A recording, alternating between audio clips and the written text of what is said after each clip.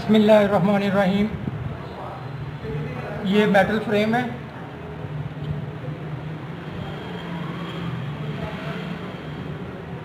इसमें हम progressive CR के शीशे लगाएँगे। ये आँख का सेंटर है।